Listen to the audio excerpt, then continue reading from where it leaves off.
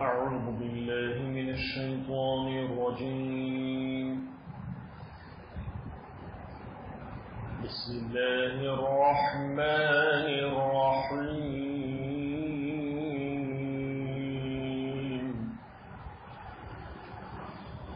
وإذ أخذنا ميثاق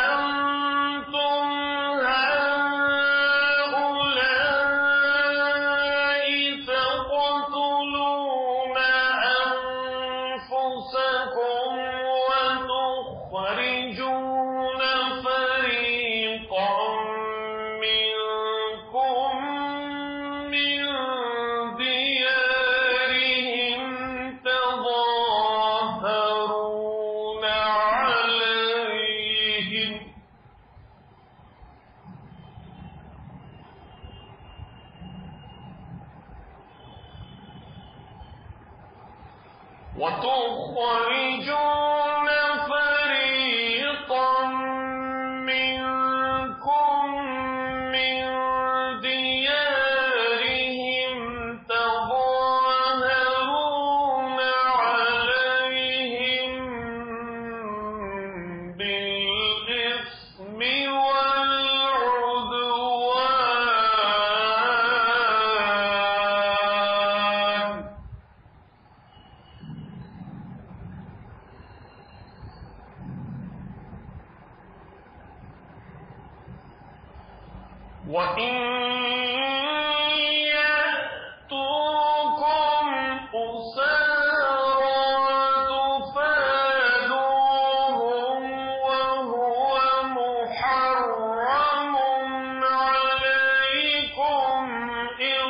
إخراجهم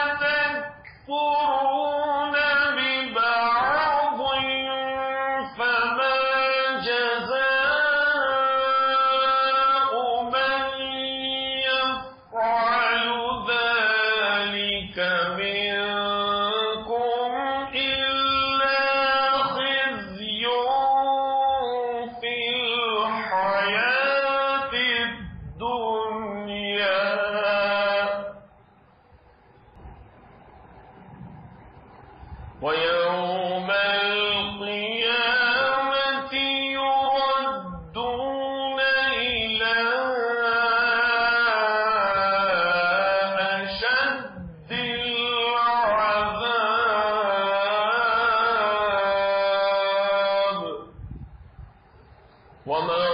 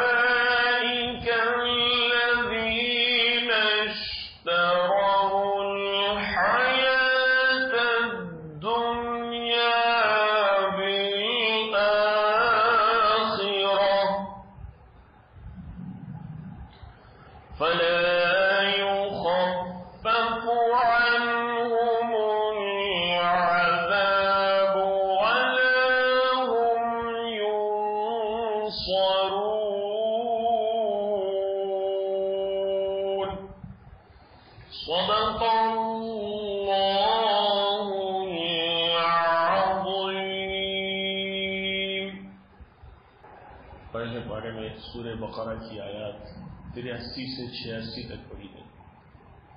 اور جب ہم نے لیا اقرار بنی اسرائیل سے کہ عبادت نہ کرنا مگر اللہ کی اور ماں باپ سے نیک سلوک کرنا اور کنبے والوں سے اور یتیموں سے اور محتاجوں سے اور کہیو سب لوگوں سے نیک بات اور قائم رکھیو نماز اور دیتے رہیو زکات پھر تم پھر گئے مگر تھوڑے سے تم نے اور تم ہو ہی پھرنے والے۔ اور جب لیا ہم نے وعدہ تمہارا کہ نہ کرو گے خون آپس میں اور نہ نکال دو گے اپنوں کو اپنے وطن سے، پھر تم نے اقرار کر لیا اور تم مانتے ہو۔ پھر تم وہ لوگ ہو کہ ویسے ہی خون کرتے ہو آپس میں اور نکال دیتے ہو اپنے ایک فرقے کو ان کے وطن سے۔ چڑھائی کرتے ہو ان پر گناہ اور ظلم سے۔ اور اگر وہی آگے تمہارے پاس کسی کی قیدی ہو کر تو ان کا بدلہ دے کر چھڑاتے ہو۔ حالانکہ حرام ہے تم پر ان کا نکال دینا بھی۔ تو کیا مانتے ہو بعض کتاب کو اور نہیں مانتے بعض کو؟ سو کوئی سزا نہیں اس کی کہ جو تم میں یہ کام کرتا ہے۔ مگر رسوائی دنیا کی زندگی میں اور قیامت کے دن پہنچائے جانے سخت سے سخت عذاب میں۔ اور اللہ بے خبر نہیں تمہارے کاموں سے۔ یہ وہی ہے جنہوں نے مول لی دنیا کی زندگی آخرت کے بدلے۔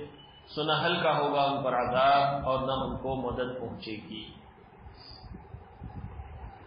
سورہ بنی اسرائیل کی ان آیات میں جیسے کہ آپ جانتے ہیں کہ بنی اسرائیل جو قوم تھی، جس کو یہود بھی کہا جاتا ہے، انہی کے تاریخی واقعات کا سلسلہ یہ چل رہا ہے۔ اور یہاں جو آیات ہے، اس میں بنی اسرائیل سے جو اللہ تعالیٰ نے وعدہ لیا تھا کہ اللہ کے کن احکامات کی ان کو پابندی کرنی ان کی تفصیل یہاں بیان کی گئی۔ وَإِذْ أَخَذْنَا مِيثَاقَ بَنِي إِسْرَائِيلَ لَا تَعْبُدُونَ إِلَّا اللَّهَ۔ اس وقت کو یاد کرو جبکہ ہم نے بنی اسرائیل سے عہد لیا تھا کہ اللہ کے سوا کسی کی عبادت نہ کریں گے۔ اس آیت کے سلسلے میں کافی تفصیلی بات گزشتہ اتوار کو ہو چکی ہے۔ مختصر خلاصہ آج یہاں سنا کر آگے کی آیات کی طرف ہم رخ کرتے ہیں۔ پہلا عہد جو اللہ تعالیٰ نے لیا، وہ یہ تھا کہ اللہ کے سوا کسی کی عبادت نہ کرنا۔ وبل والدین احسانہ اور والدین کے ساتھ احسان کرنا اچھا سلوک کرنا۔ و دل قربا اور اپنے رشتہ داروں کے ساتھ بھی نیک سلوک کرنا۔ والیتاما والمساکین یتیم اور مسکین لوگوں کے ساتھ، غریب و غربا اور ان میں بھی خاص طور سے وہ لوگ جن کے والد نہ ہو جس کا باپ نہ ہو، جو یتیم ہو ان لوگوں کے ساتھ بھی یہ سلوک کرنا۔ وقول للناس حسنا، اور لوگوں کے ساتھ اچھی بات کرنا، نیکی کی بات کرنا۔ وہ عقیم الصلاح اور نماز قائم کرنا۔ وہ عید الزکا اور زکات دینا ان چیزوں کا عہد بنی اسرائیل سے لیا تھا، اللہ تعالیٰ نے موسا علیہ السلام کے ذریعے سے، کہ اللہ کے ساتھ کسی کو شریک نہ کرنا۔ والدین، رشتہ دار، یتیم، مساکین، ان لوگوں کے ساتھ اچھا سلوک کرنا، لوگوں کے ساتھ اچھے طریقے سے بات چیت کرنا اور نماز قائم کرنا اور زکات ادا کرنا۔ تم متول تم اللہ معرضون۔ یہ عہد تم سے اللہ تعالیٰ نے لیا تھا، لیکن اس عہد کے کرنے کے بعد تم اپنے عہد سے پھر گئے۔ سوائے چند لوگوں کے۔ اور تم لوگوں میں کی اکثریت تو اپنے عہد سے پھرنے والی ہی تھی۔ دنیا میں بھی کسی سے معاہدہ کیا جاتا ہے تو اس کی پابندی ضروری ہوتی ہے۔ اگر کوئی عہد کر کے، معاہدہ کر کے ایگریمنٹ کر کے اپنے ایگریمنٹ سے، اپنے معاہدے سے پھر جائے، تو دنیا میں بھی یہ بات معیوب ہوتی ہے اور جو کوئی اپنے عہد سے پھر جاتا ہے، تو دوسری پارٹی کو اس بات کا اختیار ہوتا ہے کہ وہ اس سے بدلا لے، یا تو اس سے کمپنسیشن وصول کرے۔ یا اس سے کوئی بھی ایسی سزا اس کو دلوائے کہ وہ آئندہ ایسی کوئی حرکت نہ کر سکے۔ لیکن جب اللہ تعالی سے انسان نے عہد لیا ہے، اللہ سے اس نے معاہدہ کیا ہے، تو اب اپنے معاہدے پر وہ قائم نہیں رہے گا، تو اللہ تعالیٰ کو اختیار ہے کہ وہ اپنے بندوں کو جیسی چاہے سزا دے۔ اسی کو اللہ تعالیٰ نے یہاں بیان کیا ہے۔ تم متول تم اللہ خلیل تم اپنے عہد سے پھر گئے، لیکن تم میں سے چند لوگ تھے جو عہد کے پابند رہے۔ وہ ان تم اور تم لوگوں میں سے بہت سارے لوگ تو اپنے عہد سے پھرنے ہی والے تھے۔ یہاں پر ایک بات بہت خاص ہے، وہ یہ ہے کہ مسلمان بھی جو ہوتا ہے، وہ بھی اللہ سے عہد کیا ہوا ہے۔ بلکہ ساری انسانیت اللہ تعالیٰ سے عہد کی ہوئی ہے۔ قرآن مجید میں جو اللہ تعالیٰ نے پورے انسانوں سے عہد لینے کا بھی ذکر کیا ہے۔ کہ عالم ارواح میں ایک ایسا وقت بھی گزرا ہے جب اللہ تعالیٰ نے تمام آئندہ پیدا ہونے والے انسانوں کی روحوں کو جمع کیا اور ان سب سے دریافت کیا، خود اللہ تعالیٰ نے ڈائریکٹ السط بھی رب دیکھو کیا میں تمہارا رب نہیں؟ تو سارے انسانوں نے ایک زبان ہو کر کہا قالو بلا سب نے کہا کہ بے شک ہے اللہ، کیوں نہیں؟ آپ ہی ہمارے رب تو اس اعتبار سے پوری انسانیت اللہ تعالیٰ کے عہد کی پابند ہے کہ وہ اللہ ہی کو اپنا رب مانے۔ لیکن اس کے باوجود دنیا میں بہت سارے لوگ آتے ہیں تو اللہ سے کیے ہوئے اس عہد کو بھول جاتے ہیں، ان کو یاد ہی نہیں۔ پھر جو لوگ مسلمان ہیں، ان کے پاس تو اللہ کا کلام قرآن مجید موجود ہے۔ اور وہ تو بار بار کلمہ پڑھتے ہیں، اللہ کی وحدانیت کا اقرار کرتے ہیں، رسول کی رسالت کا اقرار کرتے ہیں، مانتے ہیں، ایمان لاتے ہیں۔ پھر بھی اگر وہ اللہ اور رسول سے کیے ہوئے عہد کے پابند نہ رہیں تو پھر اللہ تعالیٰ کو اختیار ہے کہ وہ ان کو جو چاہے سزا دے۔ بنی اسرائیل کے واقعات بھی اسی لیے بیان کیے جا رہے ہیں کہ انہوں نے یہاں یہاں کمزوری دکھائی۔ یہ یہ غلطیاں انہوں نے کی عہد کیے اللہ تعالیٰ سے، پھر اس سے پھر گئے۔ تو یہ واقعات مسلمانوں کو سنانے کی وجہ کیا ہے؟ وجہ اس کی یہی ہے کہ مسلمان ایسی غلطیاں نہ کریں۔ مسلمان اللہ اور رسول سے کیے ہوئے عہد سے نہ پھریں، ورنہ ان کے ساتھ بھی وہی معاملہ ہوگا جو پچھلی قوموں کے ساتھ ہوا، جو بنی اسرائیل کے ساتھ ہوا، جو یہودیوں کے ساتھ۔ اس لیے قرآن مجید میں اس کو ذکر کیا گیا ہے۔ اب رہی بات والدین کے ساتھ احسان اور رشتہ داروں کے ساتھ، یتیموں، مساکین کے ساتھ احسان کرنا، اس سلسلے میں کافی تفصیل سے گزشتہ درس میں باتیں آ چکی ہیں۔ تو اس کی پابندی کرنا ہم سب کے لیے ضروری ہے۔ اب آگے کا جو حصہ ہے وہ اس طرح سے وہی داخت میں امیتا لا تسفكون دماءكم ولا تخرجون انفسكم من دياركم ثم اقررتم وانتم تشهدون۔ پھر ہم نے بنی اسرائیل سے اس بات کا بھی عہد دیا تھا کہ وہ آپس میں خون نہ کریں گے۔ کسی کا خون نہ بہائیں گے۔ لا تسفكون دماءكم، تم خون نہ کرو گے آپس میں اور نہ نکال دو گے اپنوں کو اپنے وطن سے۔ یہ یہودیوں سے بنی اسرائیل سے جو عہد دیا گیا، وہ اس وقت کی بات ہے جبکہ بنی اسرائیل اور یہودی ہی سچے مسلمان تھے۔ اس وقت تک جو کتاب نازل ہوئی، اس وقت جو پیغمبر تھے، ان پر وہ لوگ ایمان لائے۔ تو اس لحاظ سے، اس زمانے کے وہ اصل میں مسلمان تھے۔ تو ان سے اللہ تعالیٰ نے عہد لیا تھا کہ آپس میں ایک دوسرے کا خون نہ کریں گے اور ایک دوسرے کو ان کے گھروں سے، ان کے وطنوں سے نکلنے پر مجبور نہ کریں گے۔ تم نے اس کا اقرار کر لیا۔ واہن تم تشدون اور تم یہ بات جانتے بھی ہو۔ اس کی تفصیل مختصراً یہاں اس طرح سے ہے کہ میساف میں جو حکم ان کو دیا گیا ہے کہ اس کے متعلق عہد شکنی کا بیان عیسائیت میں فرمایا پھر اس اقرار تصویر کے بعد تم جیسے ہو یا آنکھوں کے سامنے موجود ہی ہو کہ باہم قتل و قتال بھی کرتے ہو، ایک دوسرے کو ترک وطن پر مجبور بھی کرتے ہو اس طور پر کہ اپنوں کے مقابلے میں ان کی مخالف قوموں کی امداد کرتے ہو۔ گناہ اور ظلم کے ساتھ سو ان دونوں حکموں کو تو یوں غارت کیا اور ایک تیسرا حکم جو سہل سا سمجھا، اس پر عمل کرنے کو خوب تیار رہتے ہو کہ اگر ان لوگوں میں سے کوئی گرفتار ہو کر تم تک پہنچ جاتا ہے تو ایسوں کو کچھ خرچ کر کرا کر رہا کرا دیتے ہو۔ حالانکہ یہ بات بھی معلوم ہے کہ تم کو ان کا ترک وطن کرا دینا اور قتل تو اس سے بھی بدرجے اولا ممنوع تھا۔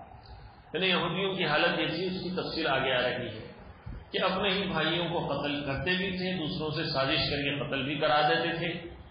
اور ظلم و سزم کے نتیجے میں ان لوگوں کو اپنے گھروں، اپنے وطنوں سے نکلنے پر مجبور بھی ہونا پڑتا تو یہ تو کام نہیں کرتے۔ حالانکہ اس سے بھی اللہ تعالیٰ نے منع کیا کہ قتل مت کرو، اپنے گھروں سے مت نکالو۔ مگر جب کوئی آدمی قید ہو جاتا، اپنے ہی برادری کا تو قیدی کو چھڑانے کے لیے مال خرچ کرتے تھے۔ اس کو قید سے تو چھڑاتے تھے، لیکن وطن میں رہنے نہیں دیتے تھے اور اس کو قتل کرا دیتے تھے۔ تو ایک طرف تو اپنے ہی بھائیوں کو قتل بھی کراتے، دوسری طرف قید سے بھی چھڑاتے۔ تو یہ معاملہ بڑا عجیب و غریب تھا۔ اللہ تعالیٰ نے دونوں کاموں سے منع کیا تھا کہ قتل بھی مت کراؤ، وطن سے اور گھر سے نکلنے پر مجبور بھی نہ کرو۔ لیکن انہوں نے وطن سے نکالا، قتل کروایا، لیکن قید ہونے پر چھڑانے کی کوشش کی، بلکہ مال دے کر چھڑاتے تھے۔ تو یہ عجیب و غریب جو ان کا رویہ تھا، اس پر اس میں تنبی کی گئی۔ تم من تمہا الائی تختلون انفسکم وتخرجون فریقا منکم من دیارہم تظاہرون علیہم بالاسم والعدوان۔ پھر تم وہ لوگ ہو کہ ویسے ہی خون کرتے ہو آپس میں اور نکال دیتے ہو ایک فرقے کو ان کے وطن سے۔ چڑھائی کرتے ہو ان پر گناہ اور ظلم سے۔ وَإِن تم کو مسارا تفادوہم وَهُوَ مُحَرَّمٌ عَلَيْكُمْ إِخْرَاجُهُمْ۔ اور اگر وہی آنے تمہارے پاس کسی کے قیدی ہو کر تو ان کا بدلہ دے کر چھڑا لیتے ہو۔ حالانکہ حرام ہے تم پر ان کا نکال دینا بھی۔ فتح مینون ابھی باب کتاب و تک فرون تو پھر کیا تم اللہ کے کسی حکم کو مانتے ہو اور کسی حکم کو نہیں مانتے؟ اللہ کی کتاب میں جو احکام ہے کہ قتل بھی مت کرو اور ان کو وطن سے بھی مت نکالو، اس کو تو نہیں مانتے۔ لیکن قید ہو گئے تو چھڑا لینے کا بھی حکم ہے، تو چھڑا لینے کے حکم پر عمل کرتے ہو جو بظاہر آسان ہے۔ تو اللہ کا کوئی حکم مانتے ہو، کوئی حکم نہیں مانتے۔ فتح مینون ابھی باؤ کتاب و تک فرون ابھی باؤ فما جزاء من يفعل ذلك منكم الا خزي في الدنيا۔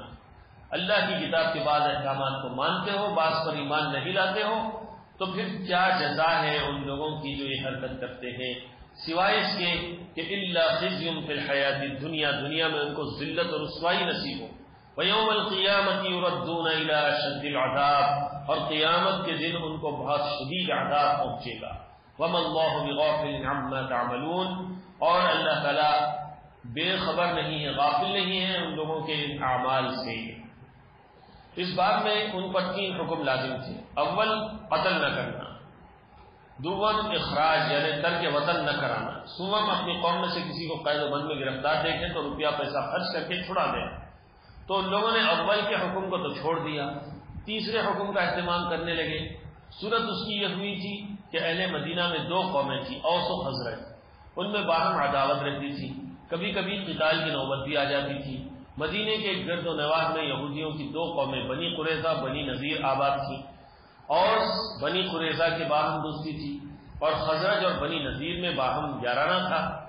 جب اوس و خزرج میں باہم لڑائی ہوتی تو دوستی کی بنا پر بنو قریضہ تو اس کے مددگار ہوتے اور بنو نذیر خزرج کی طرفداری کرتے۔ تو جہاں اوس و خزرج مارے جاتے، خانمہ آورہ ہوتے، ان کے دوستوں اور حامیوں کو بھی یہ مصیبت پیش آتی۔ ظاہر ہے کہ بنو قریضہ کے قتل اور اخراج میں بنو نذیر کا بھی ہاتھ ہوتا اور ایسا ہی بالعکس، البتہ یہود کی دونوں جماعتوں میں سے اگر کوئی جنگ میں قید ہو جاتا تو ہر جماعت اپنے دوستوں کو مال پر راضی کر کے اس قیدی کو رہائی دلاتی۔ اور کوئی پوچھتا کہ ایسا کیوں کرتے ہو؟ تو اس کے جواب دیتے کہ اسیر کو رہا کرا دینا ہم پر واجب ہے۔ اور اگر کوئی قتل و قتال میں معین و مددگار بننے پر اعتراض کرتا تو کہتے کہ کیا کریں؟ دوستوں کا ساتھ دینا بھی ضروری ہے۔ اس آیت میں اللہ تعالیٰ نے ان کی شکایت فرمائی ہے اور ان کی ہیلا سازیوں کا پردہ چاک فرمایا اس آیت میں جن مخالف قوموں کی امداد کا ذکر ہے، اس سے اوس و حضرت مراد ہے کہ اوس بنی قریضہ کی موافقت میں بنی نذیر کے مخالف تھے اور حضرت بنی نذیر کی موافقت میں بنی قریضہ کے مخالف تھے۔ اس عدوان ظلم و گناہ، دو لفظ لانے سے اس طرف اشارہ ہو سکتا ہے کہ اس میں دو حق ضائع ہوتے ہیں۔ حکم الہی کی تعمیل نہ کر کے حق اللہ کو ضائع کیا، دوسرے کو آزار پہنچا کر حق العباد کو بھی ضائع کیا۔ آگے اس اہل شکنی پر ملامت اور شکایت کے ساتھ ساتھ سزا کو بھی بے بیان فرمایا ہے۔ جیسے کہ ابھی آپ نے سنا، بنی اسرائیل کے دو قبیلے تھے، یہودیوں بنو قریضہ بنو نذیر۔ اور مدینے میں دو اور قبیلے رہتے تھے، اوس اور حضرت۔ یہ قبیلوں کے نام۔ بنو نذیر اوس و حضرت کے ساتھی تھے۔ بنو قریضہ حضرت کے، ایک اوس کے، ایک حضرت کے۔ یعنی ایک یہودیوں کا قبیلہ اور ایک دوسرا قبیلہ۔ پھر یہودیوں کا دوسرا قبیلہ اور مدینے کے اور ایک قبیلے کے ساتھ۔ اس طرح سے دونوں آپس میں دونوں بھی یہودی تھے۔ لیکن یہودیوں کے دونوں قبیلے دو مخالف گروپوں کی حمایت میں رہتے تھے جب اوس و حضرت کی لڑائی ہوتی تو اوس کی طرفداری کرنے والے یہودی اوس کی طرف سے لڑتے۔ حضرت کی طرفداری کرنے والے یہودی حضرت کی طرف سے لڑتے تو جب مخالف سے دونوں گروپ آپس میں لڑتے تو یہودی خود آپس میں ایک دوسرے کو قتل کرتے ایک دوسرے کو وطن سے نکلنے نکلنے پر اب چاہے ظاہر ہے کہ جس مقام پہ جنگ ہوگی تو جو لوگ جنگ نہیں کر سکتے وہ اپنے گھروں میں رہ بھی نہیں سکتے، ان کو گھر چھوڑ کے جانا پڑتا تو قتل بھی کیے جاتے ایک دوسرے کے ساتھ۔ اور وطن سے نکلنے پر مجبور بھی کرتے اپنے ہی بھائیوں کو۔ یہ دونوں تو بڑے گناہ تھے، اس سے بھی اللہ نے روکا تھا۔ لیکن اس پر عمل نہیں کرتے تھے۔ جب لڑائی ہوتی تو قتل کرنے اور وطن سے نکلنے پر مجبور کرنے کے علاوہ آپس میں ایک دوسرے کے قیدی بھی بن کر آتے۔ تو جب قیدی بن کے آتے تو مخالفت ہونے کے باوجود اپنے بھائیوں کو قید سے چھڑانے کے لیے روپیہ پیسہ خرچ کرتے، مال خرچ کرتے، تاوان ادا کرتے اور قیدیوں کو چھڑا کے لے جاتے۔ اسی طرف یہاں پر اللہ تعالیٰ نے اشارہ کیا ہے اب ببعض الكتاب وتكفرون ببعض، فما جزاء من يفعل ذلك منكم الا خزي في الدنيا۔ تم اللہ کی کتاب کے بعض احکام پر عمل کرتے ہو، بعض پر نہیں کرتے۔ تو اس کی سزا اس کے سوا کیا ہو سکتی ہے کہ دنیا میں رسوائی ہو اور آخرت میں بدترین عذاب کی طرف تم کو ٹھکیلا جائے۔ وما الله بغافل عما تعملون۔ اور اللہ تعالیٰ تمہارے اعمال سے غافل نہیں ہے۔ یہاں پر بنی اسرائیل اور یہودیوں کے یہ احوال تو بیان کیے گئے ہیں۔ اور اس میں بالعصم والعدوان، جب ایک دوسرے سے لڑتے ہیں تو ظلم اور زیادتی کے ساتھ ایک دوسرے پر چڑھائی کرتے ہو ظلم و زیادتی میں کے لیے دو الفاظ استعمال کیے گئے اسم اور عدوان۔ اسم کہتے ہیں گناہ عدوان کہتے ہیں ظلم اور زیادتی کو۔ یہاں پر دونوں کام ہوتے تھے۔ ایک لفظ استعمال ہوا ہے اللہ کا حق ضائع کرنے کی وجہ سے۔ کہ ایسے کام کرنے سے اللہ تعالیٰ نے منع کیا تھا۔ اور جب اللہ کی نافرمانی کر رہے ہو تو اللہ کا حق ضائع کر رہے اور اللہ کے حق کے ضائع کرنے کے ساتھ ساتھ آپس میں اپنے ہی بھائیوں کو قتل کر رہے ہو۔ تو آپس میں اپنے بھائیوں کو قتل کرنا یہ بندوں کا حق ضائع ہو رہا ہے۔ حقوق العباد، بندوں کے حق بھی ضائع ہو رہے ہیں، اللہ کا حق بھی ضائع ہو رہا ہے۔ اس لیے بالکل والعدوان اللہ تعالیٰ نے فرمایا کہ گناہ بھی کرتے ہو اور ظلم و زیادتی بھی کرتے ہو۔ تو دونوں چیزوں سے اللہ تعالیٰ نے روکا اور اس کے علاوہ بھی علماء اور مفسرین نے یہ جو آیت ہے فتح مینو نہ بباؤ دل کتابی مدد پور نہ اس کی تفسیر میں بہت ساری باتیں فرمائی ہیں۔ مسلمانوں کے لیے بھی اس میں حکم ہے کہ اللہ کے بعض احکام پر تو ایمان رکھتے ہو اور بعض کی نافرمانی کرتے تو مینو نہ بباؤ بتک فرو بعض پر ایمان رکھنا یعنی اس کی اتباع کرنا۔ اور بعض کا کفر کرنا، نہیں ماننا، اس پر عمل نہ کرنا۔ اللہ تعالیٰ نے اپنے پاک کلام قرآن مجید میں بھی مسلمانوں کو بہت سارے احکام دیے ہیں۔ لیکن چند احکام پر مسلمان عمل کرتے ہیں اور چند احکام کو چھوڑ دیتے ہیں۔ مثال کے طور پہ، اللہ تعالیٰ نے نماز پڑھنے کا حکم دیا۔ ایک بڑی تعداد مسلمانوں کی نماز تو نہیں پڑھتی۔ اللہ تعالیٰ نے روزہ رکھنے کا بھی حکم دیا۔ تو رمضان میں بہت سارے لوگ روزہ تو رکھتے ہیں، نماز نہیں پڑھتے۔ بہت سارے لوگ حج تو کرتے ہیں، لیکن نماز نہیں پڑھتے۔ تو کیا ہوا؟ کہ اللہ کے ایک حکم کی پابندی کر رہے ہیں اور دوسرا حکم چھوڑ دیں اللہ تعالیٰ نے جھوٹ بولنے سے منع کیا۔ تو جھوٹ بولتے ہیں، لیکن جب دوسرا بات کرتا ہے ہم سے، تو اس سے جھوٹ سننے کے لیے تیار نہیں۔ سامنے والا سچ بولنا، اپن جھوٹ بولنا۔ تو ہم بعض چیزوں پر عمل کر رہے ہیں، بعض چیزوں پر عمل نہیں کر رہے۔ ہیں اسی طرح سے اللہ تعالیٰ نے سود کھانے سے منع کیا۔ بہت سارے لوگ ہیں، الحمدللہ سود نہیں کھاتے بینکوں میں بھی چھوڑ دیتے ہیں۔ ابھی آج میں صبح ایک رپورٹ پڑھ رہا تھا اخبار میں کہ کئی ٹریلین روپیز انڈیا کے بعض بینکوں کے اندر مسلمانوں کے پڑے ہوئے ہیں کہ وہ سود ہے بول کے چھوڑ دیتے ہیں۔ وہ ایک الگ مسئلہ ہے۔ اس سے پتا چلا کہ بڑی تعداد مسلمانوں کی ایسی ہے جو بینک کا سود بھی نہیں لیتی۔ اللہ کا ڈر ہے، خوف ہے تقوا ہے، بہت اچھی چیز۔ لیکن دوسری طرف غور کیجیے تو بہت سارے لوگ سود تو نہیں کھاتے لیکن رشوت کھاتے۔ تو ایک طرف سود سے پرہیز کر رہے ہیں لیکن رشوت سے نہیں بچ پا رہے۔ ایک طرف حرام جانور کا گوشت کھانے کے لیے کوئی مسلمان تیار۔ اگر کسی کو بولے سور کا گوشت کھاؤ، کوئی تیار نہیں۔ لیکن دوسری طرف شراب پیو وہ تو بہت سارے لوگ شراب حرام ہے، معلوم ہے، پھر بھی پیتے اسی طرح ایک میسج آیا تھا کہ گوشت کی دکان پہ جا کے مسلمان صاحب نے پوچھا، بھائی، حلال ہے؟ تو خصاب نے پوچھا، یہ تو حلال ہے، لیکن آپ کی جیب میں جو پیسہ ہے وہ بھی حلال ہے یا وہ حرام؟ تو گوشت تو حلال ڈھونڈ رہے ہیں۔ آمدنی بھی حلال ڈھونڈنا۔ تو دونوں طرف سے دیکھا جائے تو کئی موقع ایسے آتے ہیں ہماری زندگیوں میں کہ ہم لوگ بھی اللہ کے بعض احکام پر عمل کرتے ہیں بعض احکام پر عمل نہیں کرتے ہیں۔ تو یہ ہم سے بھی مخاطب ہے۔ اب مینون کتابی متکرون بباؤ کیا تم اللہ کے بعض احکام پر ایمان لاتے ہو اور بعض کا انکار کرتے ہو؟ فما جزا فالو مندا لکھا پھر ایسے کام کرنے کے نتیجے میں اس کی جزا کیا ہوگی؟ اس کا نتیجہ کیا ہوگا؟ اللہ خزیم فی الحیاتی دنیا سوائے اس کے کہ دنیا میں رسوائی ہو۔ ویوم القیامتی اردون شد العذاب، اور قیامت کے دن تم بدترین عذاب کی طرف ٹھکے جاؤ۔ وم اللہ بغافل عما تعملون، اللہ تعالیٰ تمہارے انصاف کاموں سے بے خبر نہیں ہے، وہ تو باخبر اللہ کو سب معلوم ہے۔ اولئک الذین اشتروا الحیات الدنیا بالآخرہ۔ یہی وہی لوگ ہیں جنہوں نے مول لی دنیا کی زندگی آخرت کے بدلے میں۔ یہ جو ہوتا ہے کہ بعض چیزیں جو ہم کو پسند آ گئیں، چاہے وہ حرام ہی کیوں نہ ہو اختیار کر لیتے اور بعض چیزیں جو ہم کو پسند نہیں آئیں، اس کو ہم چھوڑ دیتے ہیں۔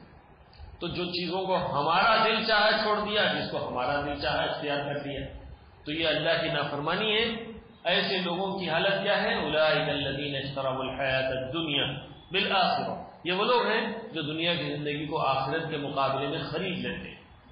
کہ دنیا کا چند دن کا فائدہ ہے، بھائی چلو یہ بھی کر لیں، دنیا اب سب کر رہے نا ہمیں اپن کریں تو کیا ہے؟ یہ آفس میں کام کر رہے ہیں، سب لوگ رشوت لے رہے ہیں، اپن بھی لیے تو کیا ہے؟ چلو نہیں۔ اور پھر اس کے بعد کسی محفل میں چلے گئے، سب پی رہے ہیں شراب۔ میں بھی تھوڑا سا اگر اختیار کر لوں تو برا کیا ہے؟ تو اس طرح سے آدمی دنیا کے ماحول میں آ کے دوستوں کی باتوں میں آ کے اور سوسائٹی اور سماج کے دباؤ میں آ کے بہت سارے گناہوں کو اختیار کر لیتا ہے۔ الحیات دنیا بالآخرہ۔ دنیا کو آخرت کے مقابلے میں گویا کہ خرید رہا ہے۔ ایسی اللہ کی نافرمانی کرنے کا نتیجہ کیا ہوگا؟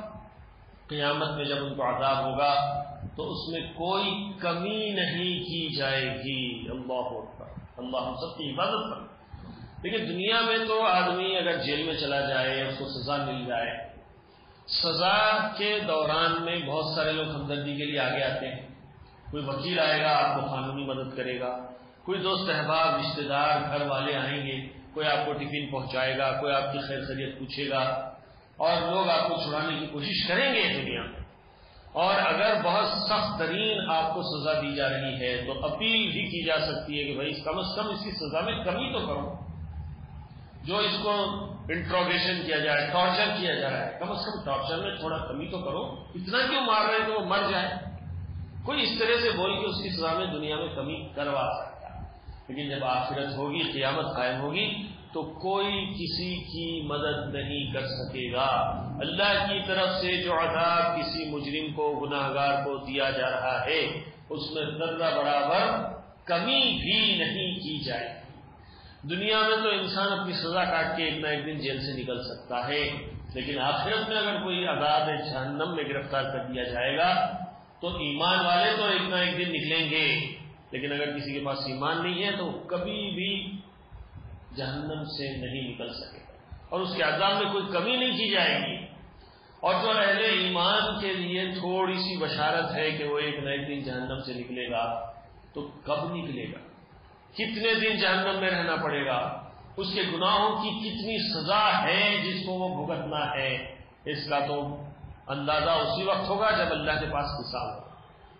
اور بعض روایتوں سے پتا چلتا ہے ایک ایک نماز کے بدلے میں کروڑوں کروڑ سال جہنم میں چلنا ایک نماز کے چھوٹنے کے بعد تو ایک ایک نماز، اب کئی کئی نمازیں روز چھوڑ پھر دوسرے کئی گناہ ہیں جو ہم سے سرزد ہو رہے ہیں۔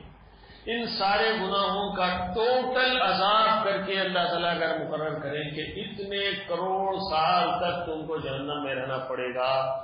مگر ایمان ہے، اس لیے ایک دن واپس آئیں گے تو کیا اتنے کروڑ سال بھی کوئی جہنم میں رہ سکتا؟ ایک دو دن بھی کوئی رہ سکتا ہے۔ اگر کسی کو دنیا میں پولیس والے بولے، چلو نہیں آئے خالی ایک دو چار گھنٹے اندر بیٹھ کے آؤ تو حالت بنگی ہو گھر سے بلایا تو لوگ نہیں آتے خوبلا ڈال کے بھاگ جاتے فرار کا اختیار کر لیں حالانکہ کوئی سخت سزا ہونے والی نہیں، صرف صاحب بلا رہے ہیں، ذرا آؤ بول رہے ہیں بولے تو حالت بنگی ہو جاتی دنیا تو آخرت کا عذاب کون برداشت کر سکتا ہے؟ اس لیے صاحب گرام رضی اللہ عنہ کو دیکھا جاتا تھا کہ ذریع بھی اگر کسی سے غلطی ہو جاتی تو جب تک کہ توبہ استغفار کر کے اس غلطی اس کوتا ہی، اس گناہ کو معاف نہیں کرا لیتے، چین سے نہیں پڑے اپنے گھروں کو چھوڑ دیتے تھے، بیویوں کو چھوڑ دیتے تھے، کھانا پینا بند کر دیتے تھے، مسجد کے ستون سے اپنے آپ کو باندھ لیتے تھے، اس وقت تک جب تک کہ توبہ کے قبول ہونے کا اللہ کی طرف سے اعلان نہیں ہوتا۔ مگر ہم لوگ تو بے فکر ہیں، اللہ ہم سب کی حفاظت فرمائے، اس لیے زیادہ سے زیادہ استغفار کریں اللہ تعالیٰ سے معافی مانگتے رہنا ہم لوگ جب اپنے آپ کے بارے میں سوچتے ہیں تو بولتے ہیں کہ بھائی میرا کیا قصور ہے؟ میں کیا کرا ہوں؟ میں شریف میرا تو کوئی قصور ہی نہیں۔ ہر آدمی اپنے بارے میں عام طور پہ یہی سوچتا ہے ہم لوگوں میں، میرا کوئی قصور نہیں۔ میں تو کوئی گناہ ہی نہیں کرتا۔